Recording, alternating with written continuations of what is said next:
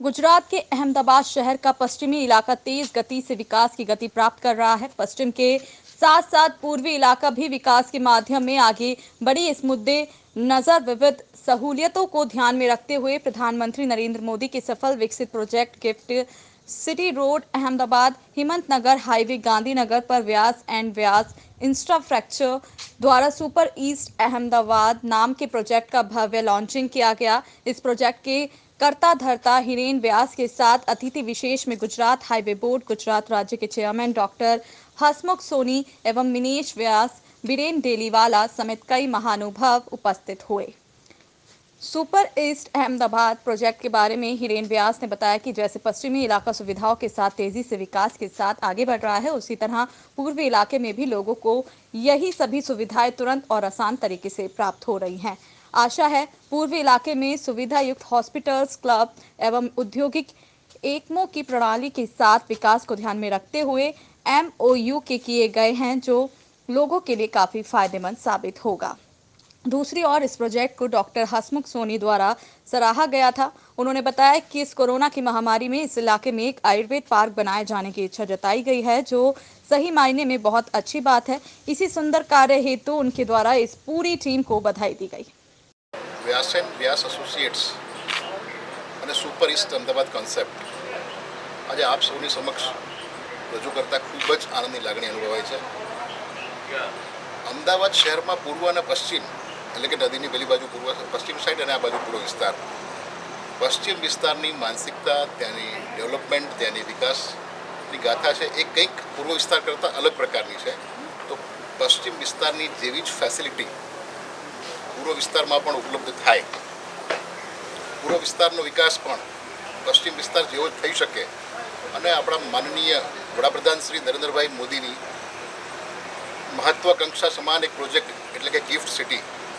Gift સિટીવાળા road પર આજે સુપર ઇસ્ટ અમદાવાદ નામના કન્સેપ્ટનું લોન્ચિંગ કરતી વખતે અને આપ સર્વે મિત્રોને મોટી સંખ્યામાં અહીંયા પધારેલા જોઈને ખૂબ ખૂબ આનંદની લાગણી અનુભવાય છે. અને થોડા જ સમયમાં આપણે આ સમગ્ર વિસ્તારમાં ઘણી બધી સારામાં સારી હોસ્પિટાલિટી, હોસ્પિટલો, ક્લબ્સ સાથે અને બીજી ઇન્ડસ્ટ્રીયલ એક્ટિવિટીઓને પણ અહીં લાવવા માટેના એમઓયુઝ કરેલા છે. અને ફરી એ લોકો અહીંયા આવે અને આખે આખો વિસ્તાર ધબકતો થાય અને સમગ્ર પશ્ચિમ વિસ્તારનું જે જીવન ધોરણ છે, એ જ જીવન ધોરણ પૂર્વ વિસ્તારમાં આવે તે અપેક્ષા સાથે અમે આજે સુપર ઇસ્ટ અમદાવાદ નામથી આ કન્સેપ્ટ લોન્ચ કર્યો છે. મારો પરિચય ડૉક્ટર હસમુખ સોની, ગુજરાત આયુર્વેદ બોર્ડ, ગુજરાત રાજ્યના ચેરમેન તરીકે સેવા આપું છું. ખાસ કરીને અહીંયા જે કોન્સેપ્ટ આખું થયો છે, એ ખૂબ જ સારું છે. આપણે વર્ષોથી જોઈ રહ્યા છીએ કે મોટે ભાગે અમદાવાદની અંદર પશ્ચિમ વિસ્તારનો વિકાસ છે. એ ખૂબ સારા પ્રમાણમાં થયું છે. પરંતુ અત્યાર સુધી જે પૂર્વ વિસ્તારને જોઈએ, તો એ મોટે ભાગે ત્યાં મિલો અને ઇન્ડસ્ટ્રીયલ એરિયા વધારે હતો. પરંતુ જેમ જેમ આખું જે ટ્રેન્ડ ચેન્જ થયો છે, એ પ્રમાણે જ્યાં મિલો હતી, ત્યાં પણ ઘણું બધું ડેવલપમેન્ટ થયું છે. અને બાકીની જગ્યામાં પણ પૂર્વમાં હવે ડેવલપમેન્ટ ઘણી બધી અંશે થયું છે, ઘણી જગ્યાએ ચાલુ છે. ખાસ કરીને આજનો આપણો એનો જે કોન્સેપ્ટ છે એમાં આપણા હાલના માન્ય વડાપ્રધાન શ્રી નરેન્દ્રભાઈ મોદી સાહેબ જેઓ અગાઉ ગુજરાત રાજ્યના મુખ્યમંત્રી શ્રી તરીકે પણ હતા.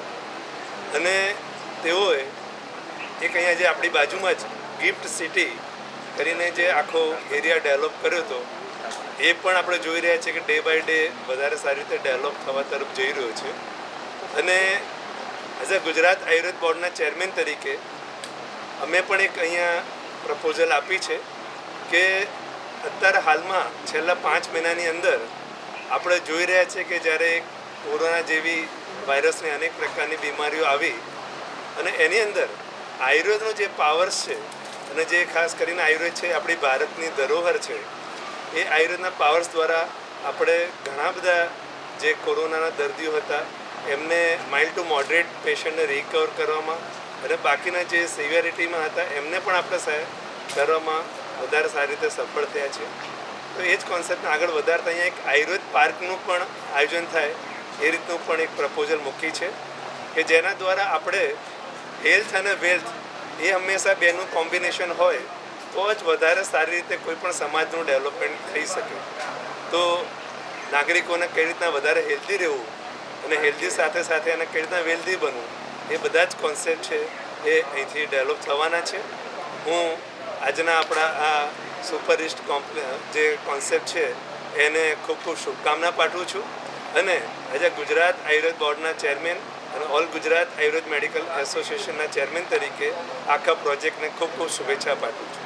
થેન્ક યુ જનતાને શું સંદેશ આપવા માંગો છો મીડિયા માધ્યમ જનતાને અમારો ખાસ આ સંદેશ છે કે આપણે જ્યારે પણ કોઈ પણ ઇન્વેસ્ટમેન્ટ કરવાનું હોય, ત્યારે પણ તમે અમદાવાદ ઈસ્ટ છે, એને પણ એક હવે પ્રાયોરિટી આપવાની જરૂર છે અને એના દ્વારા તેઓને સારી રીતે પોતાની કેરિયર બી ડેવલપ કરી શકશે અને તેઓને પોતાના નિવાસસ્થાન રહેવા માટેની પણ અનેકવિધ પ્રકારની સગવડો પણ અહીંયા ઊભી થઈ શકશે.